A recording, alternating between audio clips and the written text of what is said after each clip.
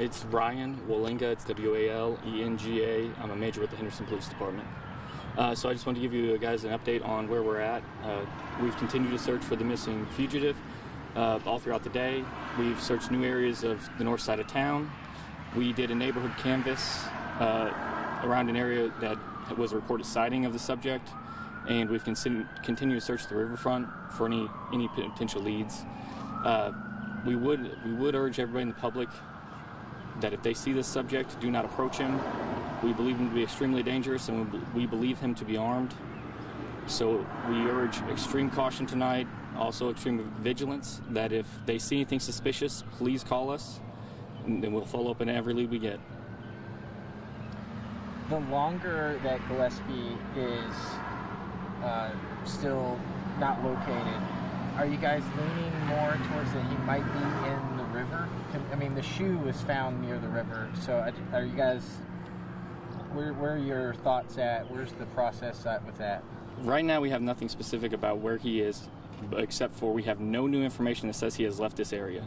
Everything we, everything we have right now says he's in this area, so we're going to continue to search every lead we can, continue to have increased patrols, extra manpower assigned, and continue to do everything we can to try to locate the subject. The uh, neighborhood canvas, what does yeah. that look like? They went door to door trying to trying to confirm that everyone in that area was safe and account for anyone that was home or where they might be. Were there tips received today that um, were investigated and did anything turn off? There's been there's been several tips from the community through since this has begun, and we appreciate every one of them. And some of them have resulted in sightings of people that looked similar but weren't the subject. But I would urge everyone if they see something that they believe may may may be of interest to us, please call us. We will follow up on everything we can. Everything's valuable. Uh, what has anything changed about the um, the game plan going into day three?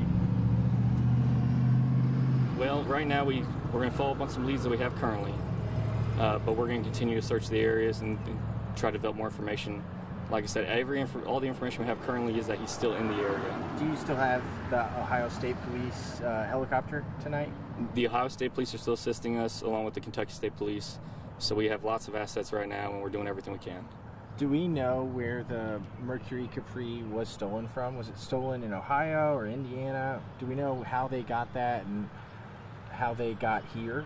That's part of Ohio's investigation. I'm not going to comment on that right now. Okay. Um, the videos, like the surveillance videos from Camaro Court, Camaro Drive, when are we gonna? When are those going to be released? I'm not sure at the moment. Uh, I would say it's probably going to be later, depending on how all this plays out. Does uh, Gillespie have any family that you guys are talking to, or or anything like that?